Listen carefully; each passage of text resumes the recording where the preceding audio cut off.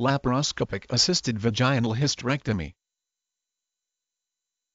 Laparoscopic assisted vaginal hysterectomy, a procedure using laparoscopic techniques to remove the uterus womb and or tubes and ovaries through the vagina birth canal. Laparoscopic assisted vaginal hysterectomy is often referred to, more concisely, by its abbreviation, LAVH. In LAVH, Several small incisions cuts are made in the abdominal wall through which slender metal tubes known as trocars are inserted to provide passage for a laparoscope and other microsurgical tools. The laparoscope is essentially a tiny telescope. A camera attached to it provides a continuous image that is magnified and projected onto a television screen which the surgeon watches during the operation. In the course of LAVH, the uterus is detached from the ligaments that attach it to other pelvic structures using the laparoscopic tools. If the tubes and ovaries are to be removed, they are also detached from their ligaments and blood supply. Then whatever is to be removed is taken out through an incision made in the vagina. Since the incisions are small,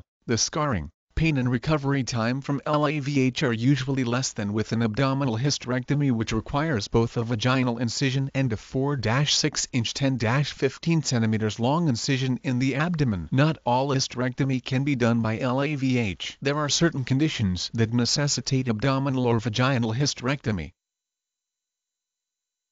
LA P A R O S C O P I C A S S I S T E D V A G I N A L H Y S T E R E C T O M.